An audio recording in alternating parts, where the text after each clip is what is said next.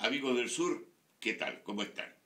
Esto es para invitarlos a los de Villarrica y a los de los Muermos a que vean Ardiente Paciencia de Antonio Escármeta, que es la historia del cartero de Neruda. Eh, Neruda con la relación personal, amistosa, simpática, bonachona con un cartero de Isla Negra. Es una ha tenido un éxito salvaje, más de 100 representaciones en el mundo, que ustedes van a poder ver este domingo en Villarrica, el 5 en Villarrica y el lunes 6 en Los Muermos.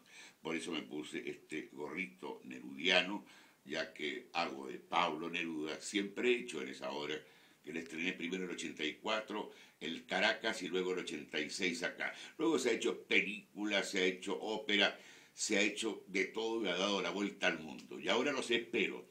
El domingo 5, Villarrica, y el lunes 6 en Los Muermos.